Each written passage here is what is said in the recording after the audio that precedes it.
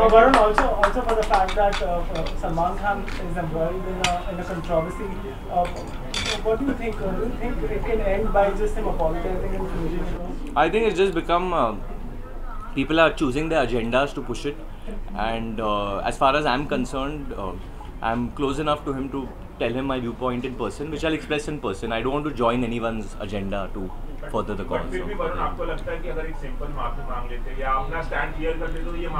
आई think मैं personally जो कहूँगा मैं उनसे कहूँगा मेरे को अगर आप किसी को पर्सनली जानते हो तो आप पब्लिकली क्यों बोलोगे जो आपको बोलना है